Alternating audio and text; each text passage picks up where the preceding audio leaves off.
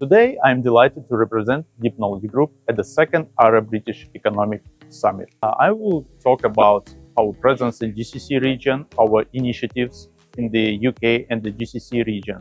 I will talk how Deep Knowledge Group aims to become a technological bridge between the two regions. I will cover our initiatives across the analytical dashboards, global longevity dashboards, and uh, the rest of our partnerships and activities across the regions. So our final speaker is uh, from uh, the Deep Knowledge Group.